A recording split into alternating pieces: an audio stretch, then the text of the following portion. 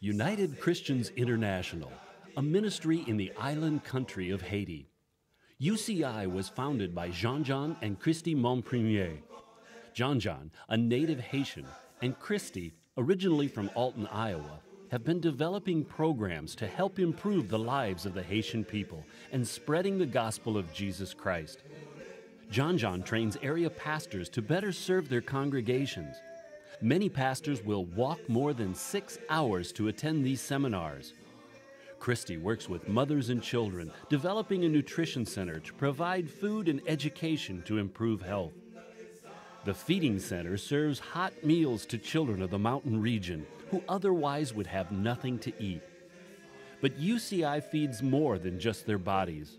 The children learn Bible stories and sing songs in praise to Jesus Christ, the founder of the feast.